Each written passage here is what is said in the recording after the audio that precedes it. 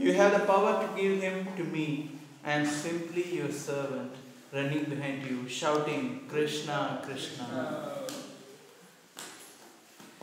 Sachidananda Bhaktivinoda Thakur Ki Jai.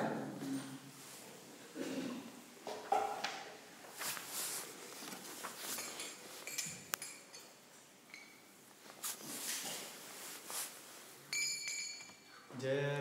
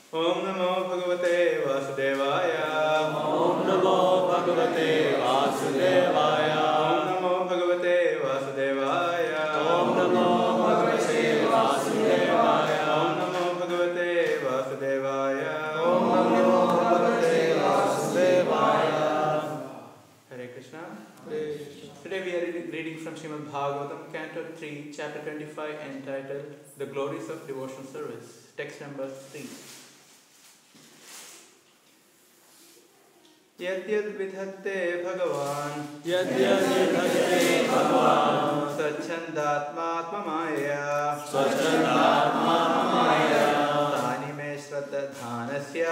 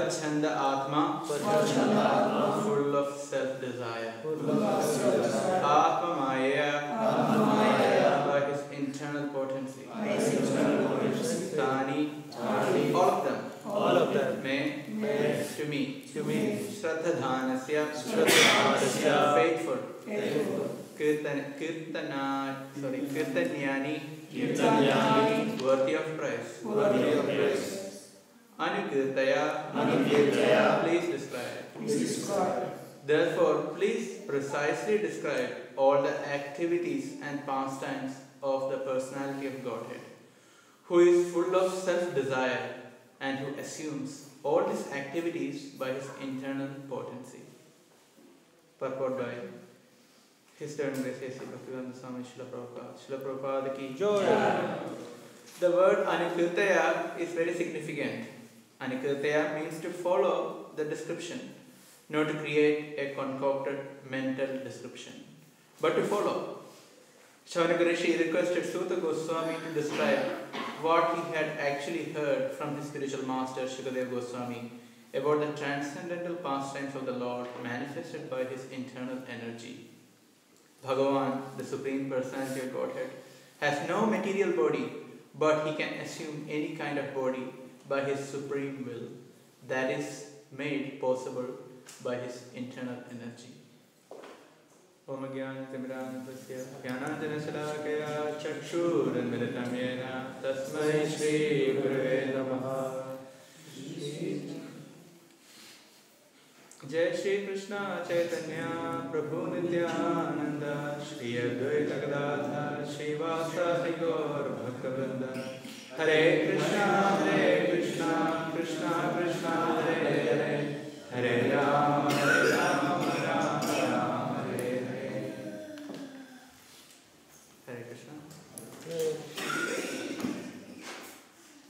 Today is the auspicious appearance day of Bhaktivinoda Thakur Mahasaya. We will discuss from Srimad Bhagavatam this particular verse and then we will hear the glories of Bhaktivinoda Thakur. As we can see in this purport, the word Anukirtaya is very significant, very important because we are following in disciplic succession. We are following in parampara, where the knowledge, the truth, is being passed down from guru to disciple. We are not here to concoct, we are not here to present our own ideas or to have some innovation in terms of knowledge. Rather, we are simply following in footsteps of previous acharyas. So this purport looks very significant for today's presentation because today is the Avirbhav Mahotsav of Sachidananda Bhaktivinoda Thakur. As we can see here, Shaunaka requested Suta Goswami as he had heard from his spiritual master, Srila Shukadev Goswami. In the same way, we can see the life and teachings of Srila Bhaktivinoda Thakur. How he presented the eternal teachings of Lord Krishna and Lord Chaitanya. And how Srila Prabhupada eventually followed in the footsteps of this great Acharya, Srila Bhaktivinoda Thakur. So today's class will be primarily focused on the life and teachings of Bhaktivinoda Thakur. So I will try to read the pranam mantra for Bhaktivinoda Thakur as we are all familiar with. I can read line by line and you can repeat after me. Namo Bhakti Vinodaya Namo Bhakti-vinodaya. Sachidananda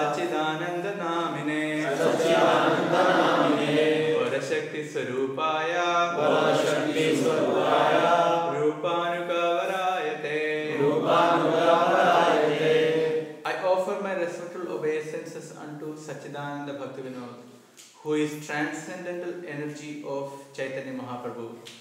He is a strict follower of the Goswamis headed by Srila Rupa Goswami.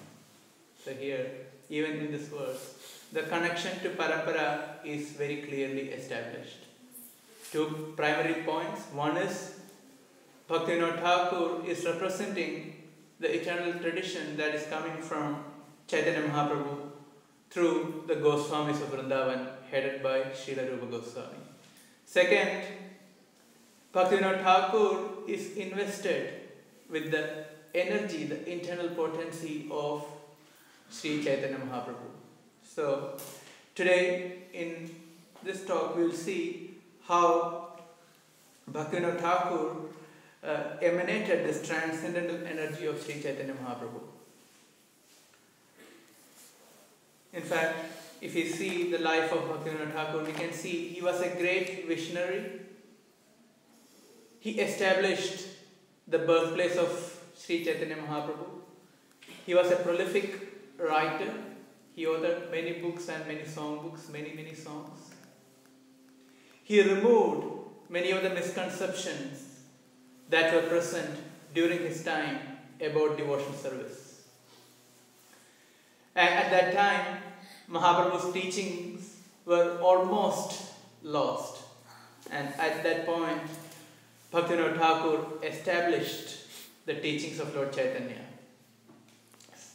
And also, he uh, exposed many pseudo incarnations who were present at this time.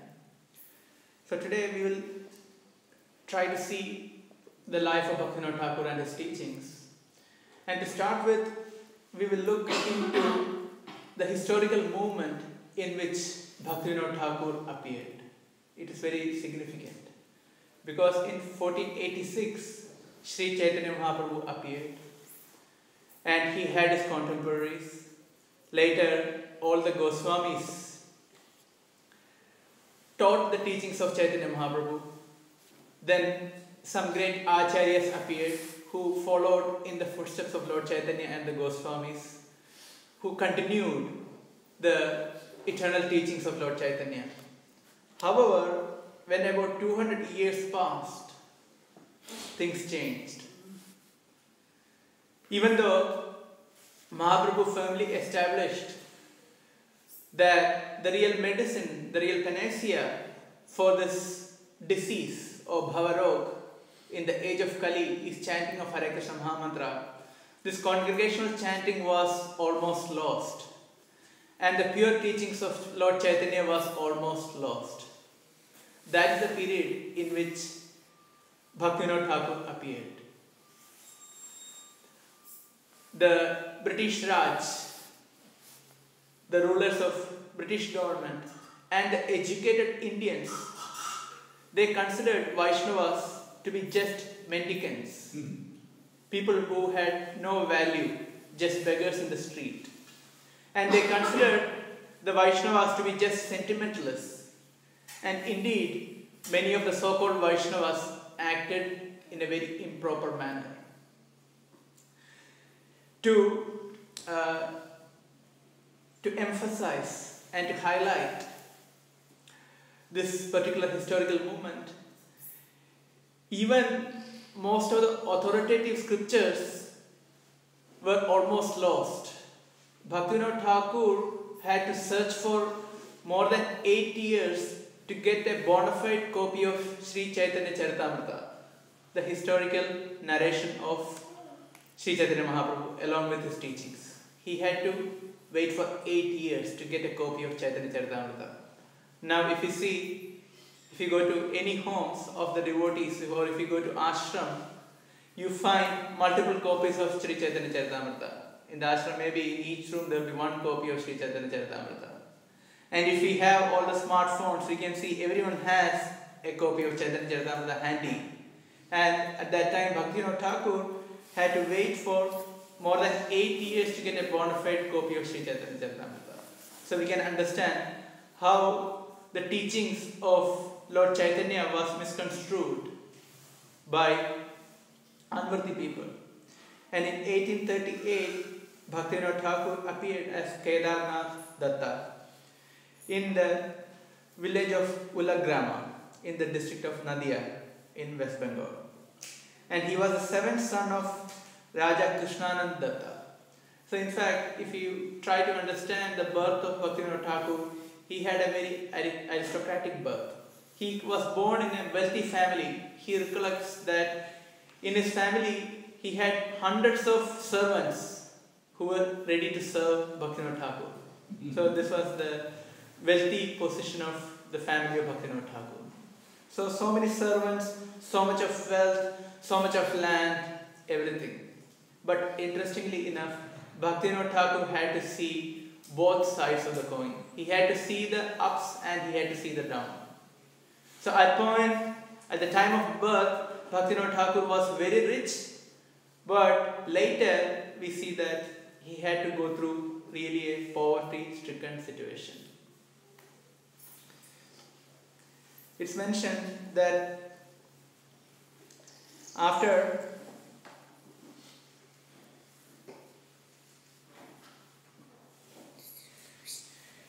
In 1849, when he was 11 years old, his father passed away. And after that, they had to go through a poverty stricken situation. So they lost all the money. And that time, even Bhaktivinoda Thakur was quite philosophical. He started thinking, what is, it, what is this life all about? What is the meaning of life? Why such turmoil is going through in our family, in my life? So Bhaktivinoda Thakur was quite philosophical. Even though Bhaktivinoda Thakur is an eternal servant of the Lord, a Nitya Siddha, eternally perfect devotee, he manifested himself the pastime in which he found himself to be a seeker, just like an ordinary person would go through difficulties and then he would start thinking, what is this life all about? In the same way, Bhaktivinoda Thakur started thinking, what is this life all about? And he also went through different literature. He went through Ramayana, Mahabharata, different other Puranas. He went through Kali Purana, Anadamangal. He went through all different scriptures and finally he came in touch with the teachings of Srimad Bhagavatam and Chaitanya Charitamrita. It is mentioned that he also very thoroughly studied Quran and Bible. And when he would lecture or when, when he had conversation, he could thoroughly quote Quran and Bible. So he was well versed in all the Puranas. He was well versed in Bible and Quran. So he had a very vast knowledge of religious scriptures in general. So he was examining different scriptures. So as I explained earlier, he was just like a seeker who would go through different scriptures and would try to find out what is the highest scripture. So he went through all the scriptures, including the Vedic literatures and non-Vedic literatures. Interestingly enough, he came up with one conclusion that he had studied Shankaracharya's monistic philosophy, Advaitavad, the impersonalism, and he had al- also studied Christianity.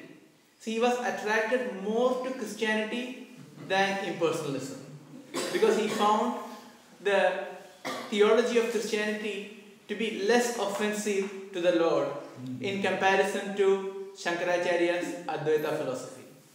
So it's interestingly he was more attracted to Christianity. And even from his childhood, he had the mood of service because he was bo- born in a big family, he had many siblings.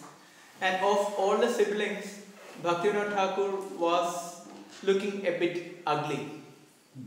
He was not very handsome in comparison to his other brothers. So Bhaktivinoda Thakur's mother told him that you can act as a servant of all. And in that way you live long and you be a servant of all your siblings. And Bhaktivinoda Thakur took that mood.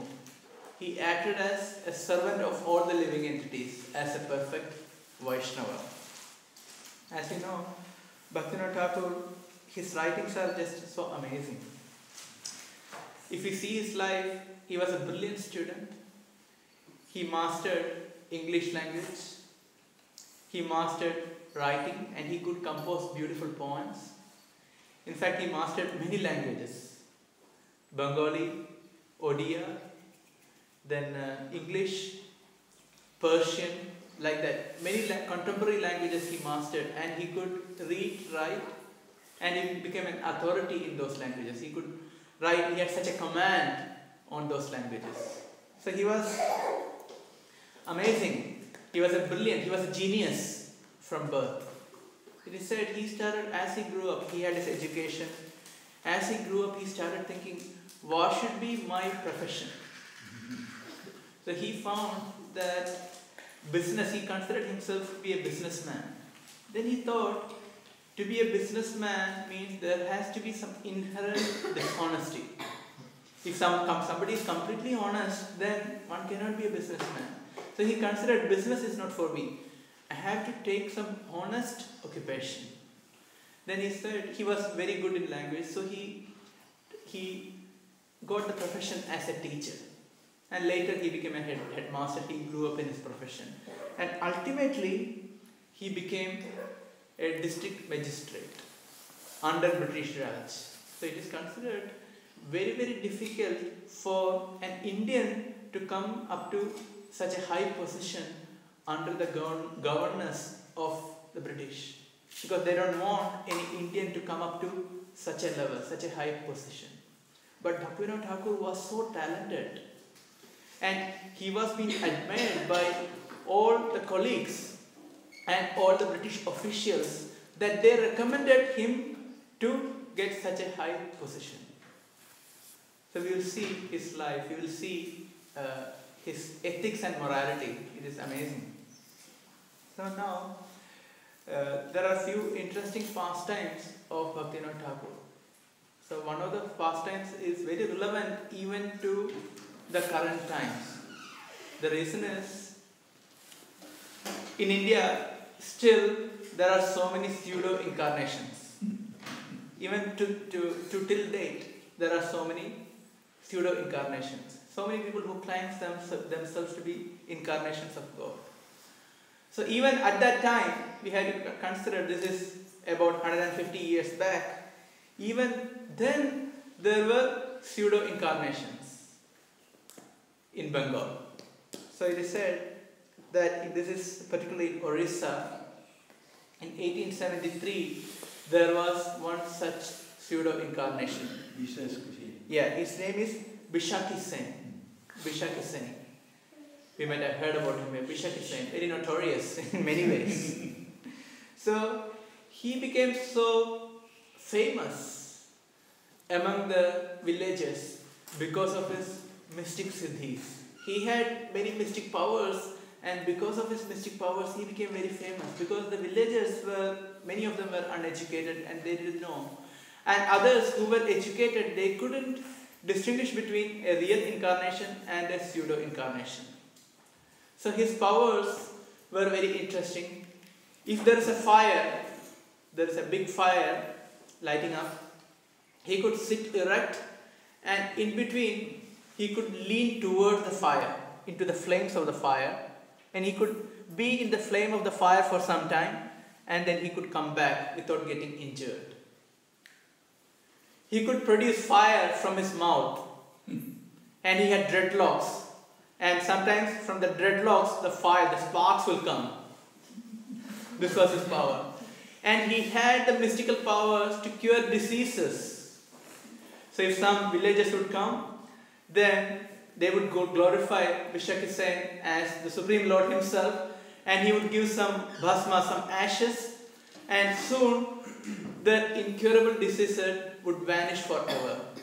So Vishaki was very powerful and obviously he became very popular. And he made a very important declaration. He said, I am Mahavishnu. I am Mahavishnu from Vipushi. and I have appeared for a purpose. So he was very clear about his incarnation and the mission of the incarnation. As Shastra would say, any incarnation doesn't appear just like that. There is always a mission statement. In the same way, Bishaki Sen also told he has a mission statement.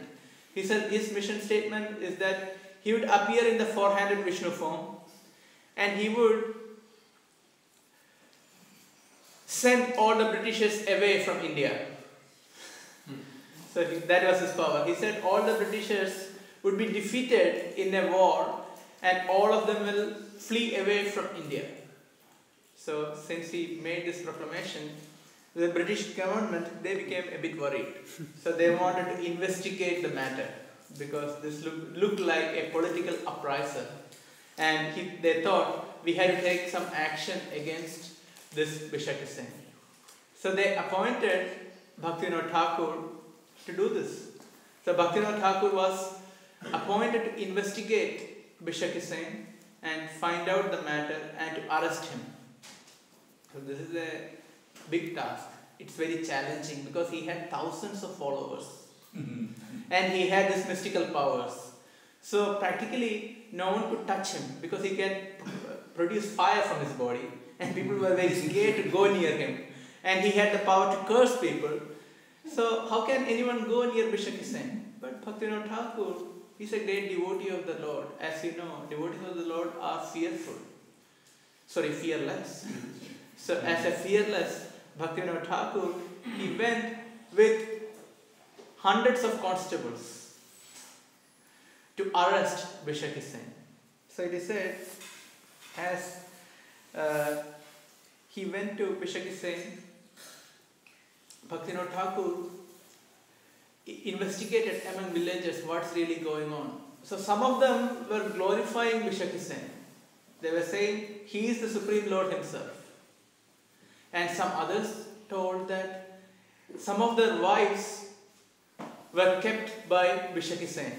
And in nights he used to perform Rasa Leela, so Rasa dance, and he used to engage in illicit, uh, illicit affairs with Not this sure woman. what he said. So there was a lot of problems in the village because many of the women being abused by Bishaki Sen. So Bhaktivinoda Thakur took this into serious consideration. So Bhaktivinoda Thakur went with all these constables to arrest Bishaki Sen. And in fact, when Bhaktivinoda Thakur met Bishaki Sen, Bhaktivinoda Thakur told Bishaki that you have to surrender and you have to come with me to Puri. So Bishaki denied. He had the mystical power. He said, I know who you are.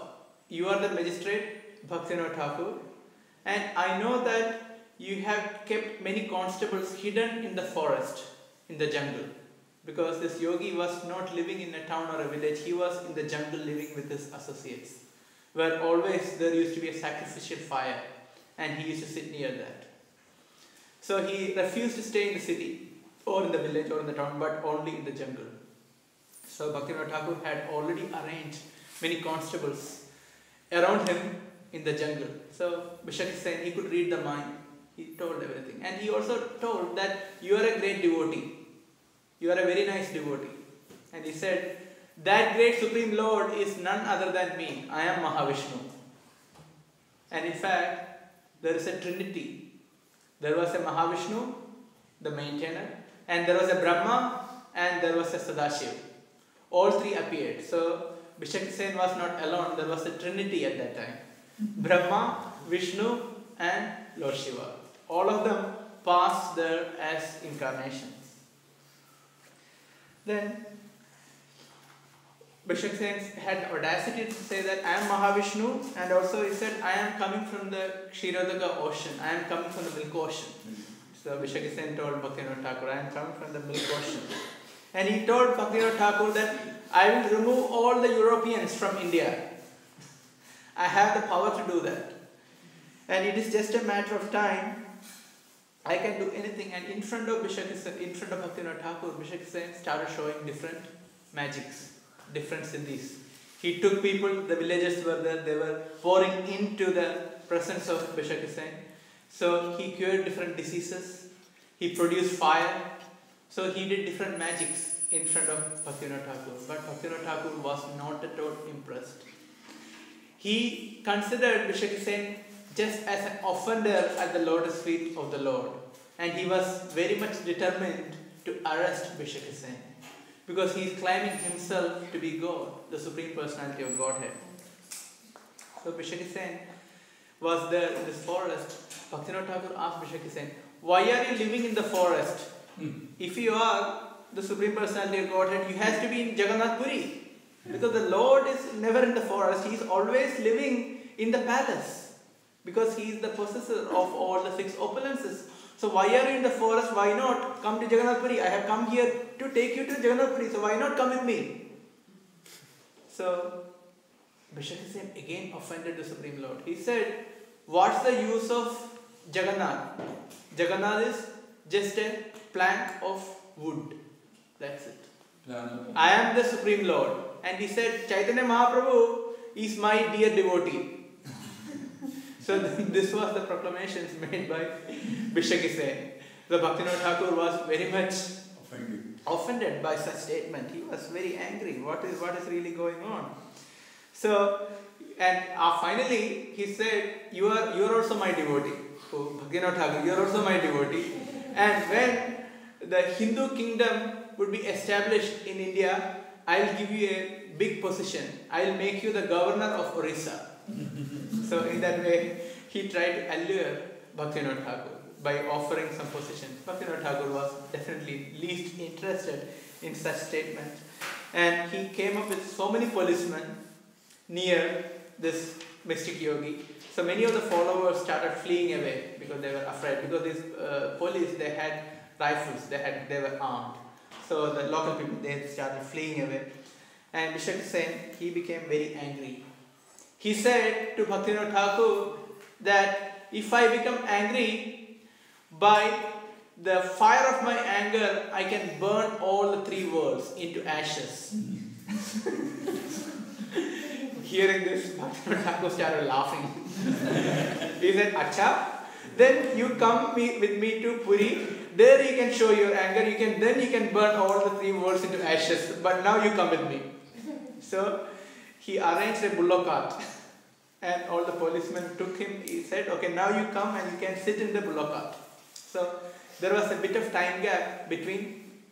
He sent the policeman to get a bullock cart, and uh, you know he, he told him, "Okay, I'm going to arrest him." at That point, Bhaktivinoda Thakur started preaching to this Vishakis and he said, Why are you offending at the Lord's feet of the Lord? You are not Vishnu. You, you are the, the purpose of all life is to surrender unto the Supreme Lord. Why are you falsely claiming yourself to be the Supreme Lord? It doesn't make any sense. But of course, Bishak Sen was least ready to listen from Bhaktivinoda Thakur. So he was, you know, now he's being arrested and he's going to be put in the bullock cart. That time, Bishak Sen made a very classic statement. He said, Ultimately, I am the Supreme Lord and you are my dear devotee.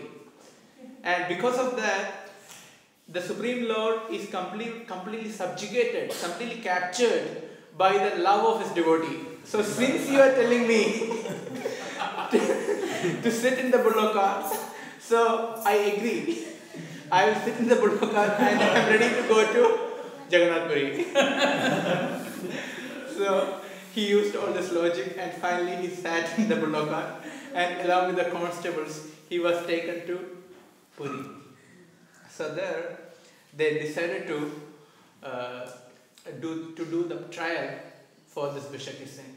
So it is mentioned that on the way to Jagannath Puri, when Bhaktivinoda Thakur was also in the cart, he started writing the all the trial, all the documents, all the evidences against Bishaki Singh.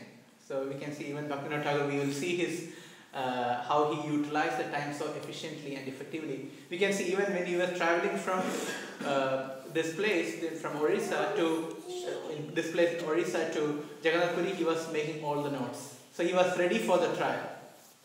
So finally, he was brought uh, in front of the judge, and you know, Bhaktivinoda Thakur is, he has to uh, pass the judgment. The trial went on for 18 days. How many days? 18 days. So you can understand. It's a, it's a big thing. It's a historic event. Because thousands of followers of this yogi, they assembled. They surrounded the court. And they were telling, they were shouting, the injustice is going on in this world.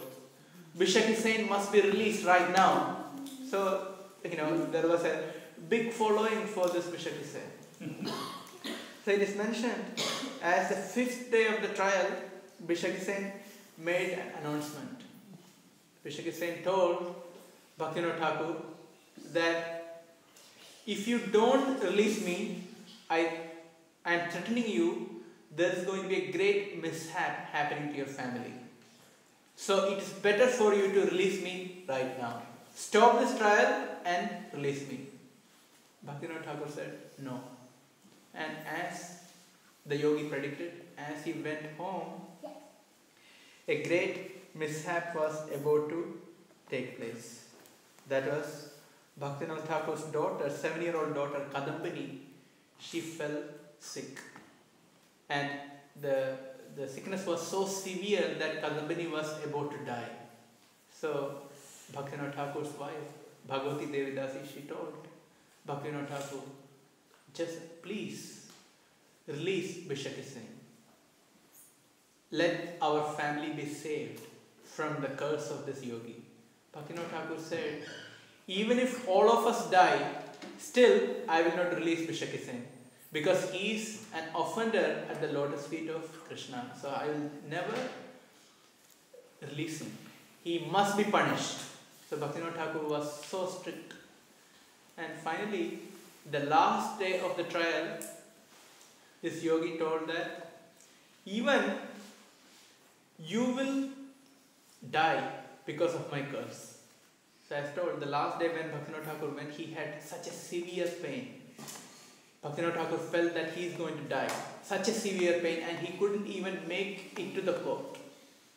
So he was struggling just to get into the court, and finally, with all the pain, Bhaktivinoda Thakur went to the court and he passed the judgment that he will be punished for year and a half. So that was the punishment, imprisonment for year, year and a half. At that point, Yogi became so angry, and from his dreadlocks, fire started coming. Everyone was scared, but Bhaktivinoda Thakur was least bothered by such magical feats.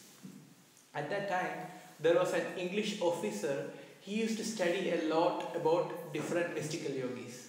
So, what he did, as he as the, the, the trial was finished and the judgment was passed, this Englishman he took a big scissors, must be really a large scissor.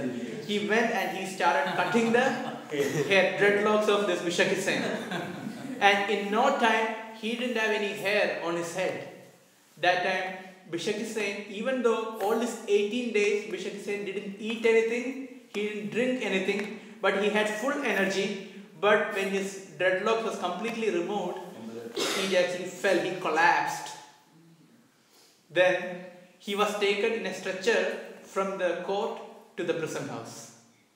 So it is said that all the mystic yogis they store their energy, the mystical energies in the dreadlocks, Yes. in the hair, in the dreadlocks. He had a long hair and he was full of energy, all full of mystical energy. So now he had no energy. And it is said three months he spent in the jail. After that, the pseudo incarnation committed suicide by drinking poison. That was the end of Bishaki Sen. Mm-hmm. It is said soon after that, one another Balaram came about, he was also arrested. and there was another Brahma who took charge of Bishaki Sen's group, he was also arrested. So, in that way, Bhaktivinoda Thakur he removed all these misconceptions, who all these in pseudo incarnations who were offenders at the lotus feet of Krishna. So it is said Bhaktivinoda Thakur played such a great role in re-establishing the pure teachings of Lord Chaitanya. He removed the obstacles in the path of devotion by these pseudo incarnations and pseudo swamis who would cheat people, claiming themselves to be God. It is mentioned that Bhaktivinoda Thakur, when he was staying in Puri, he, you know, we had to see, even though he's a Nitya Siddha, he enacted himself as a sadhaka who is steadily progressing in his devotional service. So Bhaktivinoda Thakur himself writes that I made most of my spiritual progress while staying in Jagannath Puri because of the holy association of many Paramahamsa Babajis. So in Jagannath Puri, Bhaktivinoda Thakur uh, started an association, a society called Bhagavad Samsad. And Bhagavad Samsad, there, it was a group of devotees, they would assemble in Jagannath Vallabh Gardens because Jagannath Vallabh Gardens is the bhajan place of Ramananda Roy, the associate of Sri Chaitanya Mahaprabhu. So there, Bhaktivinoda Thakur and all great devotees would assemble and they will discuss about Krishna. So all the great devotees of Jagannath Puri used to come to Jagannath Vallabha Garden and they used to discuss. But one Babaji, his name was Raghunath Das Babaji, he never came to this assembly and he started dissuading others not to go to this assembly. He considered that Bhaktivinoda Thakur never wore Vaishnav Tilak nor he had Kantimala. So since he didn't have Vaishnav Tilak and Kantimala, they started saying he, he's not a real devotee. So he- he's representing some apa-sampradaya. He's not giving the pure teachings of the Lord. So we shouldn't go and associate with him. So this Raghunath Das Babaji, he was afflicted by a great disease. He was severely sick. And one night, Lord Jagannath himself came into the dream of Raghunath Das Babaji and told Raghunath Das that if you want to be cured from this serious illness, you had to go and you had to ask forgiveness from Bhaktivinoda Thakur for your offense. Otherwise, you will die. Hmm. So then Raghunath Das Babaji, next day he got up and he went and fall at the feet of Bhaktivinoda Thakur and asked for forgiveness. And Bhaktivinoda Thakur, as a magnanimous Vaishnava, he completely forgave all the offenses he had committed. It was, it was more verbal. He forgave all the offenses. And Bhaktivinoda Thakur gave some medicines. And in due course of time, Babaji was relieved from his disease. And it is said, Bhaktivinoda Thakur says this Babaji was actually a Paramahamsa. He was actually a Nityasiddha. He said this is also a Nityasiddha Babaji. So we can see even such a thing happen, how the Lord interferes and he actually rectifies the situation. The Lord doesn't want his pure devotee to be offended. So it shows the greatness of Bhaktivinoda Thakur. In fact, the, it is mentioned that one time Bhaktivinoda Thakur was uh, sitting in Jagannath Puri in the Jagannath Mandir. Ja- Bha- Bha- Bhaktivinoda Thakur used to go to Jagannath Puri Mandir pretty much every day and he used to sit and he used to do bhajan in Jagannath Puri in the Jagannath Mandir. Near Mukti Mandap, there used to be a lot of Brahmanas who would assemble and who would talk about Mayavad philosophy. And Bhaktivinoda Thakur was very much offended by such activities. It is said that by the association of Bhaktivinoda Thakur, many of these Mayavadis, they became devotees. And Bhaktivinoda Thakur used to recite Srimad Bhagavatam in the assembly of devotees in Bhakti Mandap in Puri, where Mahaprabhu and Sarvabhauma Bhattacharya enacted their pastimes. So, one day, Bhaktivinoda Thakur was reciting Srimad Bhagavatam along with the devotees. Then the king of Puri appeared there. He came with all his entourage and he was creating such a havoc, such a noise. And Bhaktivinoda Thakur was greatly offended by the act of king of Puri. And Bhaktivinoda Thakur directly chastised the king of Puri. He told king of Puri that you may be a king of a small kingdom, but Lord Jagannath is the Lord of the universe. And Srimad Bhagavatam is the eternal scripture. So you must pay all respects to the devotees and Srimad Bhagavatam. So King of Puri was taken aback and he paid respectful obeisances unto the devotees and Srimad Bhagavatam. So he had to surrender at the feet of Bhaktivinoda Thakur. So this is interesting that how Bhaktivinoda Thakur was very determined when it comes to preaching, when it comes to uh, upholding the standards of Vaishnavism. It's mentioned, we hear there that Bhaktivinoda Thakur was not uh, initiated when he was staying in Puri. Later, Bhaktivinoda Thakur got initiated by Bipin Bihari Goswami. He was coming from the Sampradaya, coming from uh, Jahnava Mata, the dear wife of Nityananda Prabhu.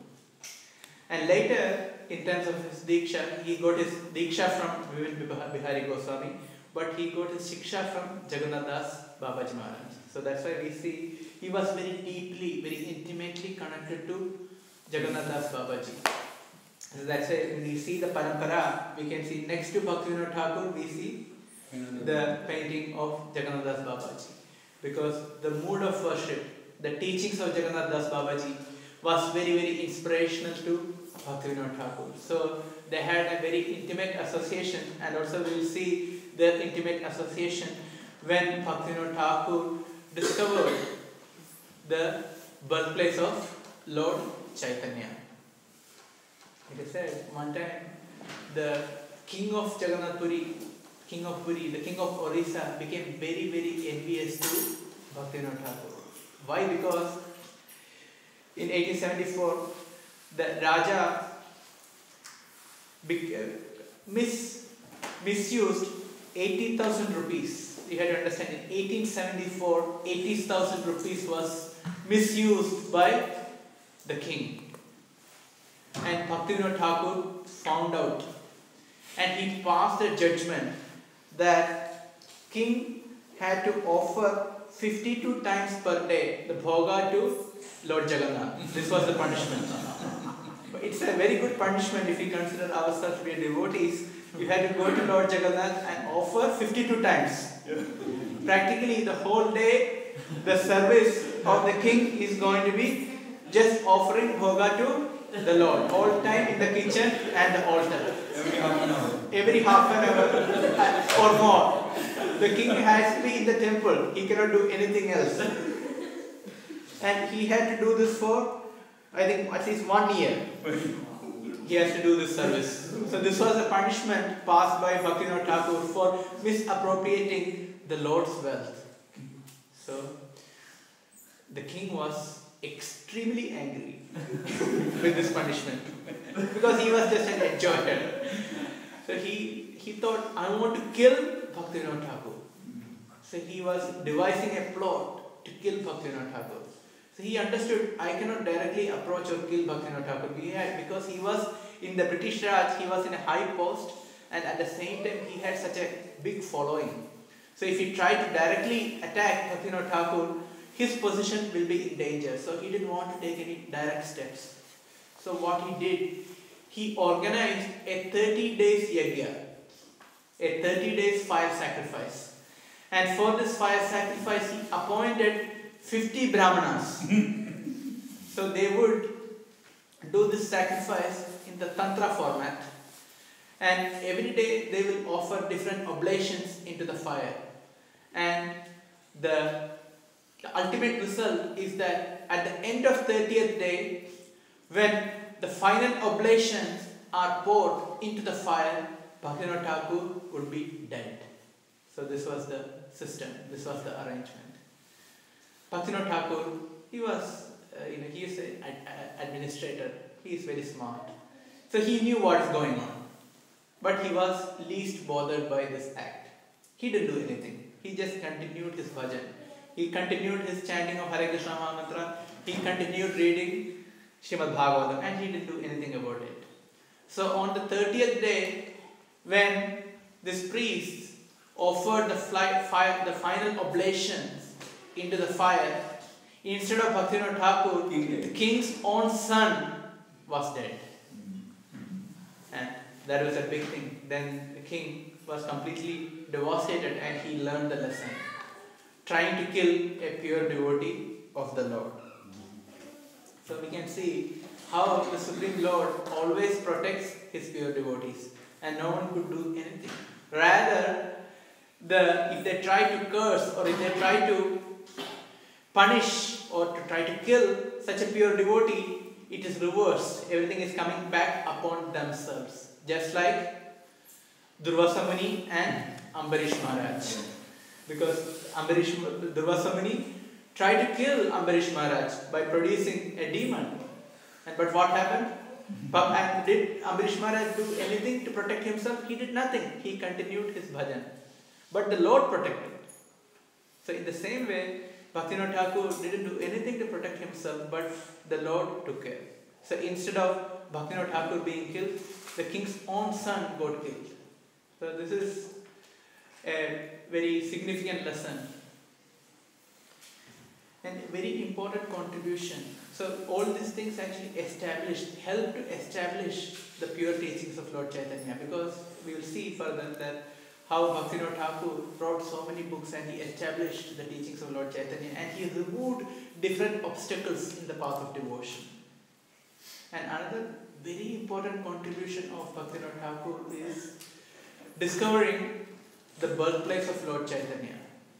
Because Mahaprabhu appeared in 1786 and after that years sorry 1486 after that centuries have passed and devotees didn't know where Mahaprabhu took place took birth and in fact people started saying that Nadia was the birthplace of Mahaprabhu so many people staying in Nadia they, they wanted Nadia to be the place of pilgrimage so they just proclaimed that Nadia is the birthplace of Lord Chaitanya. And Bhaktivinoda Thakur, one day, he, he was sleeping in Tarakeshwar. And in, when he, Bhaktivinoda Thakur was sleeping in Tarakeshwar, there was a dream. In that dream, Sri Chaitanya Mahaprabhu himself appeared. And Lord Chaitanya told Bhaktivinoda Thakur, I understand your desire to go to Vrindavan. You can go to Vrindavan, but before that, you have to perform a very important act. That is to finding out my my birthplace. So please do that. After that, you can go to Vrindavan. So after this, Bhaktivinoda Thakur was completely enthusiastic to perform his mission to find the birthplace of Lord Chaitanya because that is very very significant for his time of devotees and his followers. We can see now there is a place of worship in Mayapur for Lord Chaitanya. It is by the mercy of Bhaktivinoda Thakur.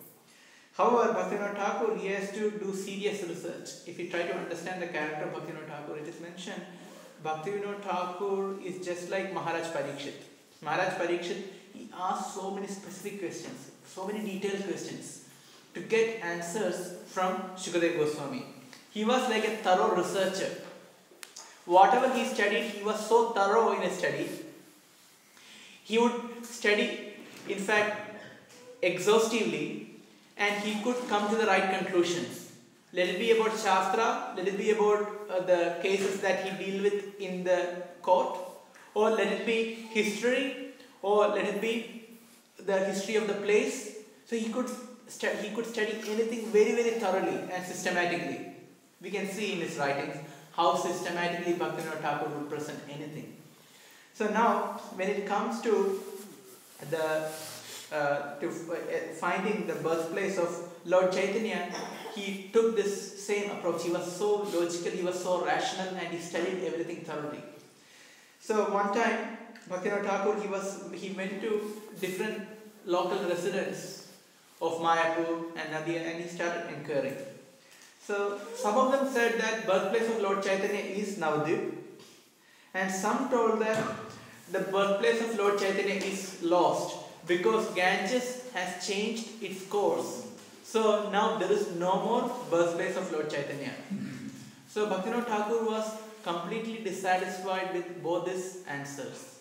So he wanted really to find where is this birthplace. He traveled around Navadvip, he traveled around in Mayapur, but he couldn't find the birthplace. He asked many people, but he couldn't find. But one day he was camping, one interesting thing happened. One Saturday evening, the Thakur was sitting on the roof of the Rani Dharmashala in Navadvip with his third son Kamala Prasad and a friend who was a clerk and along with, a, along with a friend who was a clerk. It was 10 o'clock in the night, very dark, as the sky was covered with clouds.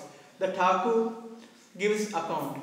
Across the Ganges, in the northern direction, I saw a large mansion flooded with light. When I, when I asked Kamal about this, he confirmed that he had seen it also. When I asked the clerk, he said, I didn't see anything. I was utterly amazed by that. This is Bhaktivinoda Thakur is writing. I was utterly amazed by that. When I looked carefully at that area in the morning from the roof of Rani's house, I saw a tal, a palm tree located there. Inquiring from others about the place, they said it was known as Baladi Key, which was near the ruins of the old fort and kingdom of Lakshman Sen. Upon inquir- inquiring of various persons, Thakur learned that adjacent to this place was the large pond of King Balal Sen, from which the town got its name. And aside from that, there was nothing of importance. The following Saturday, he went to Balal Dighi, where at night he again had a wonderful vision. He spent the next day wandering all over the site. The elderly locals told him that this was indeed the location of Lord Chaitanya Mahaprabhu's birth. They pointed out an extensive mound covered with tulsi plant as a site of his appearance. So, first, Bhaktivinoda Thakur had this vision. From Navadvip he could see a large light and a mansion in the side of in the site of birthplace of Lord Chaitanya. Second, when he went, he found found the local villagers who some of them elderly people they told this is the birthplace of Lord Chaitanya, and there was a mount. There was only tulsi plant was growing. It is said that they tried to remove the tulsi but they couldn't. It was only one plant was growing that was tulsi at that area. So this was the second confirmation. First he could see his vision. Second there was some confirmation in terms of tulsi plant and the local villagers. But he was not just satisfied. This is very interesting because someone would get satisfied with okay, I understood, okay, this must be the birthplace of Lord Chaitanya, but Bhaktivinoda Thakur was not satisfied with that.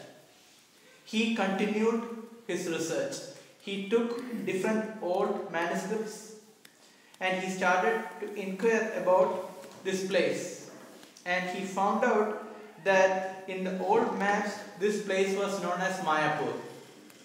So he got the map of Ganga Govinda Singh and other kings who ruled the centuries before, and they found he found that this was actually this place was actually known as Mayapur. And then finally he found a scriptural reference. So he didn't just take it for granted, rather he found a scriptural reference. In Bhakti Ratnakara, it is, you know, the Narahari Sarkar, he has written the Bhakti Ratnakara, in, it, in which there is a statement, Navadiva Mathe Mayapur Nam Stan Yathara Janmi Lena Gaurachandra Bhagavan. In the center of Navadiv, there is a place called Mayapur. At this place, the Supreme Lord Gaurachandra took his birth.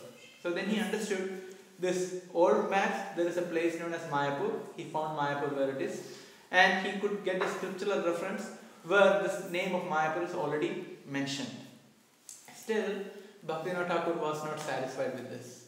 As a final confirmation, he approached his spiritual master, Jagannath Das Babaji.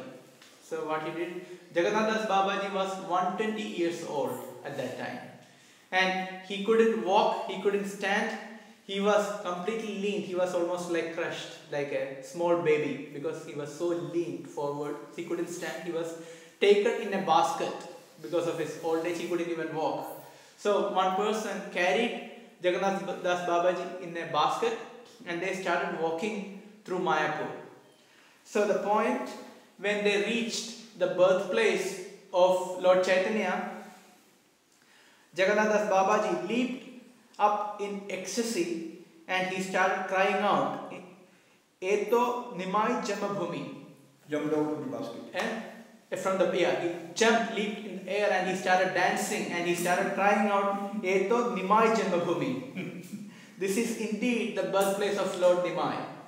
So from this, Bhaktivinoda Thakur confirmed, okay, this must be the birthplace of Lord Chaitanya because ultimately he cross-checked from his spiritual master Das Babaji. So he heard from some sadhus, he saw the history, he found scriptural evidence, and also he confirmed from his own spiritual master. And interestingly enough, at this age, Jagannath Das Babaji couldn't see anything. He was blind. So even, even though he was blind, Couldn't open the eyes. yeah, he couldn't even open the eyes. He was blind. So he, at that point, when the, he reached this point, he jumped out and he started crying out. This is the birthplace of our Nimai. So that's how Bhaktivinoda Thakur uh, confirmed the birthplace of Lord Chaitanya, and it is very interesting. After retirement, Bhaktivinoda Thakur wanted this place to be worshipped, and he wanted to establish the deities of Lord Chaitanya at the birthplace of Lord Chaitanya. For that, he went on a mission, and the mission was to was fundraising. So he didn't have a fundraising dinner. Bhaktivinoda Thakur's fundraising technique was very interesting. What was it? He would collect only one rupee from one family.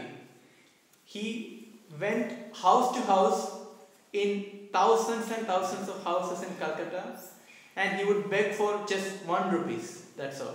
And he will collect only, even though well-to-do people they may be ready to offer more money, he wouldn't collect. So his idea was that as many people as possible should be engaged in constructing a temple in the birthplace of Lord Chaitanya. So he went on this mission and he collected sufficient funds to build the temple at the birthplace of Lord Chaitanya. Think about this, and people were really amazed to see the humility of Bhaktivinoda Thakur. He just went just as a beggar, door to door, begging for one rupee to build the temple for Lord Chaitanya. He was a magistrate, he was high up in the pedestal, and from there he just dropped down just as a beggar and he went door by door and he begged to construct this temple. So this is Bhaktivinoda Thakur. It is mentioned that his character was so down to earth and he had no duplicity and he was morally so intact. All the British people they used to respect Bhaktivinoda Thakur like anything. He his work was so clear and he was so strict and he was way way above corruption. He it is said he was so magnanimous, he was so charitable, and he didn't find fault in anything and anyone. And if he had to criticize or if he had to correct someone, he would make sure that he is the right person to take the action. He wouldn't criticize or he wouldn't correct anyone. See, Bhaktivinoda Thakur is an eternal associate of the Lord, but he wouldn't correct anyone unless and until he finds himself at the right time and he's in the suitable position, then he would correct someone. Otherwise, he wouldn't correct anyone. He cha- see, he chastised many all the pseudo incarnations. He chastised many other people, but he was in the right position and he understood it is his duty, then he corrected. Otherwise, he wouldn't take a step to correct anyone. So, all his colleagues, all other people, they considered Bhaktivinoda Thakur to be such a gentle person, such a nice person. Everyone liked the association of Bhaktivinoda Thakur. And I have to mention definitely about writings of Bhaktivinoda Thakur because he was a prolific writer. He authored around 100 books in different languages. It is mentioned if someone can write one book of that caliber, then his life is successful. Just one book. But Bhaktivinoda Thakur authored 100 books. And apart from that, he composed hundreds and hundreds of poems glorifying the Supreme Lord, including Madhav. Srila Prabhupada instituted chanting of Jaya Radha Madhav every day in his temples. That is composed by Bhaktivinoda Thakur. So it is such a such a great writer. It is mentioned that his main works are Krishna Samhita, Chaitanya Shikshamrita, Jay, Jaiva Dharma, Tattva Sutra, Tattva Viveka, and Harinama Chintamani. Major works. About 100 books are there, but these are considered the major works of Bhaktivinoda Thakur. And uh, you know, I when I read something, I look into the writing style in the sense how coming to how they are coming to the conclusions. So if you or how systematically everything is presented, I have a natural habit of looking looking into it. Mm-hmm. So when I have a look at any of Bhaktivinoda Thakur's writing, one will be amazed how there is a proper introduction, how the points are built systematically, and how there is a conclusion. We can't find any perfect writing than that of Bhaktivinoda. Amazing writer. Whatever you read of Bhaktivinoda is just amazing. So systematic. You cannot be think you cannot be even more you cannot be more systematic than this. Such a profound writing. And we will see his daily routine, then we'll be amazed how he managed to do such an enormous task throughout his life. They said he was writing till the, the till the last days. Is said in the last days even he, he, he, he was even going through his previous works and he was even fine tuning his previous works. He was so diligent, dedicated, and sharp even during his last days. So I'll just go through his daily routine, which is very inspirational. And why we are reading the daily routine of Bhaktivinoda Thakur, it is showing the great quality of a devotee who doesn't want to waste even a single moment of his life. Avyartha Kalatvam. He wanted to glorify the Supreme Lord all the time. It is said 8 pm till 10 pm he used to take rest for 2 hours. Mm-hmm. 10 pm till 4 am he used to write. See, 10 pm till 4 am he used to write. See, this 100 books he wrote when? During the night. 6 hours during the night. think about after 2 hours, if you try to think something, forget about writing. To, write something, your mind has to be so clear, we cannot even think properly something. Rather, we'll go crazy. So, 10 pm till 4 am he was writing. 4 am till 4 till 4.30 am, rest, half an hour sleep again. Then 4.30 till 7 am, chanting japa. He had solid two and a half hours to chant japa. He was not just 64 only. for two and a half hours to chant japa. Then 7 a.m. till 7.30 a.m. correspondence. 7.30 a.m. till 9.30 a.m. study Shastra. See, two hours of study even for Bhaktivinoda Thakur. two hours of Shastra for Bhaktivinoda Thakur, take into account. Then 10 a.m. till 1 p.m. court duties. It is said, three hours, right? What other British magistrate they would take one and a half hours or two hours to pass a judgment, he would do it in fi- five minutes. And some of the Britishers, they became envious of Bhaktivinoda Thakur. They tried to discourage Bhaktivinoda Thakur, but he was least affected by that. He continued his routine and finally all of them honored and admired Bhaktivinoda Thakur. So this is the greatness of Bhaktivinoda Thakur. So three hours he performed all the court duties. So he could pass hundreds of cases in you know in one or two days. Then 1 p.m. to 2 p.m. refresh at home. 2 p.m. till 5 p.m. court duties again. It's a full day of work. Think about that. he was a grihastha, he was 2 till 5, 3, 4, 5. How many hours of work? 6 hours of work. How can we complain? Then 5 p.m. till 7 p.m. translate Sanskrit Shastra to Bengali. 2 hours. Then 7 p.m. till 8 p.m. bath prasadam. Prasadam was half liter milk, rice and two chapatis. So that's what It is said in, in summary he used to sleep for sleep for three hours. Three hours of sleep, write for eight and a half hours, and japa and study, that is sadhana, four and a half hours, and work for six hours. So this is the perfect perfection of grihastha life. if you read this, you know we can have a poster and see who can follow this. This is the greatness of Bhaktivinoda Thakur. And had to make a very important point. Bhaktivinoda Thakur was so well connected to Srila Prabhupada. Srila Prabhupada was so connected to Bhaktivinoda Thakur. It is said, he, because he was very innovative in preaching, he wrote English books and he sent to foreign libraries. So in 1896, Bhaktivinoda Thakur sent copies of Lord Chaitanya, his life and precepts to McGill University in Canada. So he thought I can spread the teachings of Lord Chaitanya abroad, away from India, through my books. So he sent it in 1896, and that is the age, that is the year Bhaktivinoda Thakur had the deepest desire to spread Krishna consciousness outside of India. And Srila Prabhupada says that's the year in which I took birth.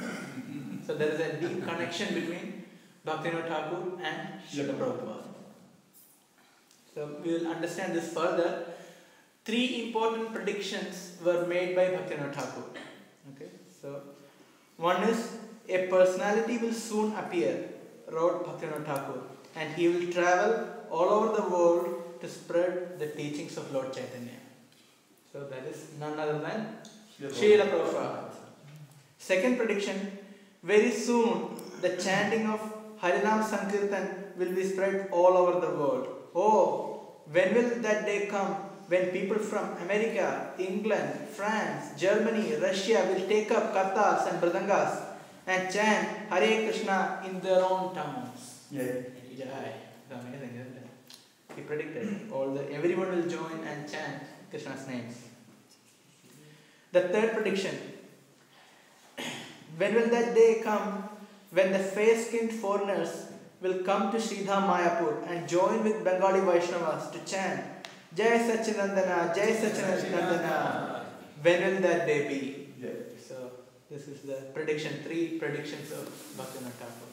So it is said the last days of Bhaktivinoda Thakur he spent in Jagannath Puri. Many days he spent in Jagannath Puri. And as you know, Bhaktivinoda Thakur's Bhajan Kutir in Jagannath Puri is the ISKCON temple now. If you go near Haridas Thakur Samadhi. We can see ISKCON temple there. So that is uh, Bhaktivinoda Thakur's Bhajan Kutir. Then uh, even at the last minutes, uh, Bhaktivinoda Thakur spent in writing and he was practically applying the teachings of Harinam Chintamani and Jaiva in his own life by chanting holy names. He was continuously chanting the Hare Krishna Mahamantra. And uh, one interesting pastime that is, uh, he took Babaji Vesh. Bhaktivinoda Thakur, he renounced, before going to Jagannath Puri, he renounced uh, from his family life completely and from everything, and even from active preaching. He accepted Babaji Vesh, just a loin cloth and just a bahirvas, another cloth, just two cloths in his body. And he accepted this uh, bahirvas from uh, Gaur Kishore Das Babaji Maharaj, who is his own disciple. So because Gaur Kishore Das Babaji, he was already a Babaji, so he had the right to give Babaji Vesh to Bhaktivinoda Thakur. So uh, Gaur Kishore Das Babaji, he refused completely to give Babaji Vesh. He said, you know, I am not qualified to give you Babaji Vesh. So one time Bhaktivinoda Thakur, he went to search for Gaur Kishore Das Babaji.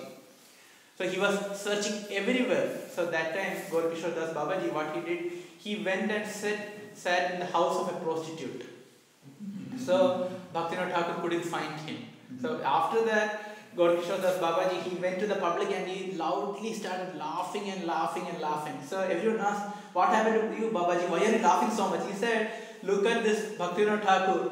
He, he wanted to find me, but he couldn't find me. I tricked him because I hid myself in the house of a prostitute.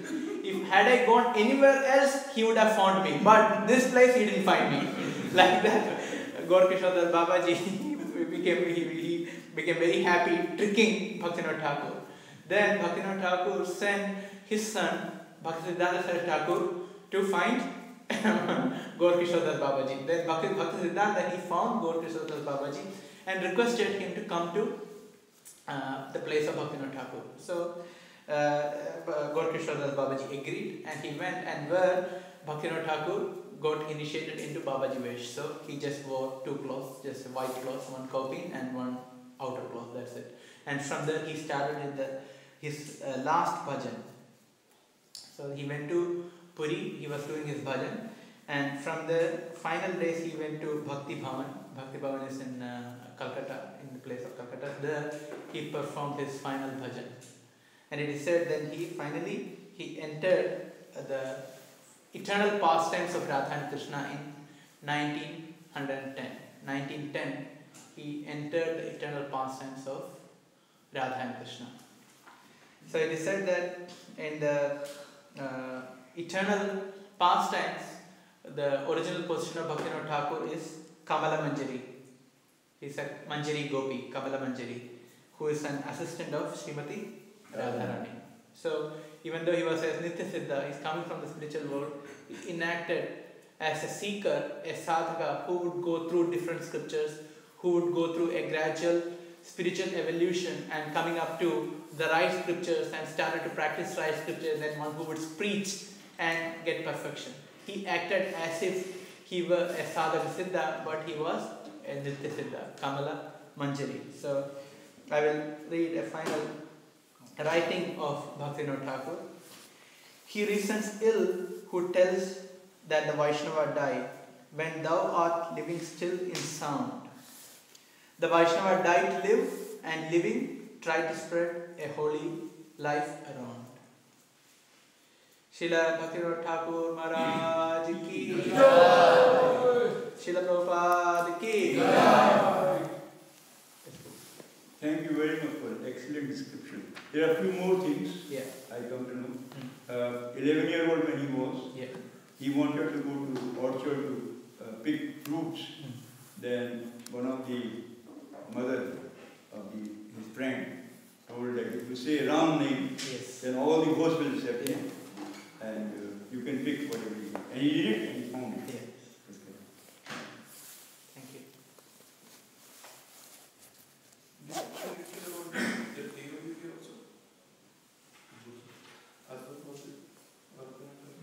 No. The Lord Nityananda. Did you say also he found that a temple will be there very close to the birthplace? He and his son, they were sitting one night Yeah. in the rooftop and they found some light and then he predicted there will be a big temple which Prabhupada will be making. And there was a stand, he couldn't see, but his son could see that there is a temple coming. Mm. That was prediction. Prabhupada took that point and हरे कृष्णा। कलराशि में भागवतम की शिल प्रपाद की भक्त ठाकुर महाराज की।